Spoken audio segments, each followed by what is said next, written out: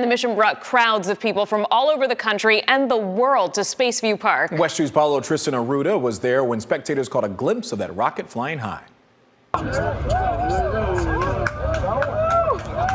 An out of this world moment for people as they gathered to watch the launch of 2024's first crewed mission. It was amazing.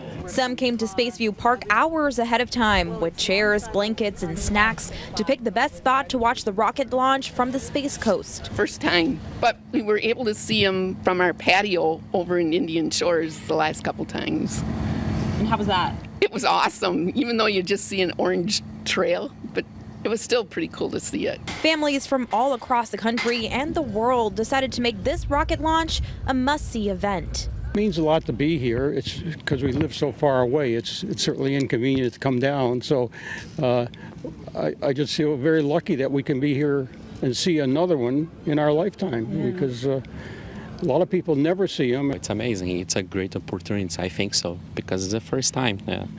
It's uh, third time to visit the United States, but uh, first time they showed the, the rocket. When we booked the trip down here, you know, in October, we were hoping there was going to be a launch, and there was some before we came down, and then, and like probably three weeks before we came down here, uh, I saw the launch pop up, and I was like, yes. After the launch was scrubbed on Wednesday and pushed back to Thursday, many were hopeful today was the day, and when it happened.